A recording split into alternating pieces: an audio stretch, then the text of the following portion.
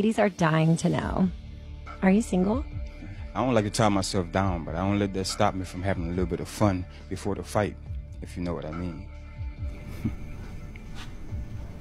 Um, I, I think we have what we're looking for. Why don't you just pack up and head back to the hotel and I'll, I'll meet you there later.